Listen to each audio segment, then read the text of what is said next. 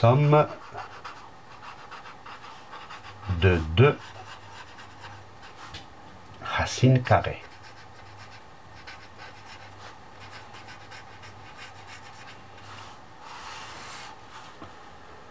Petit a et petit b désignent deux nombres strictement positifs. On considère un triangle rectangle ABC dont les côtés AB, sa mesure c'est racine de A, racine carrée bien sûr, AC, racine de B. Utilisez l'inégalité triangulaire pour comparer BC et AB plus AC. Rappel de classe de cinquième, chaque côté est inférieur à la somme des deux autres. BC est inférieur à AB plus AC. Strictement inférieur.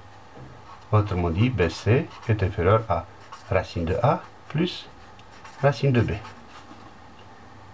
Mais combien vaut BC Bien sûr, grâce au terrain de Pythagore, BC au carré égale AB au carré plus AC au carré, qui est égal à AB au carré, c'est racine de A au carré, plus racine de B au carré. Évidemment, ça donne A plus B, selon les propriétés du cours. Donc BC, c'est rien d'autre que racine carrée de A plus B. Comparez ça avec ça. Qu'est-ce qu'on en déduit? On en déduit que racine de A plus B est inférieure à racine de A plus racine de B.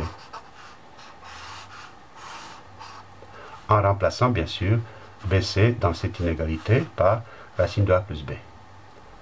Comment dire en français simple cette propriété qu'on vient de trouver?